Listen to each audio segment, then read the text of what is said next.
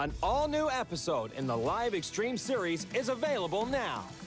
You've been invited to another live extreme race. I'm telling you, being a rising star has its perks.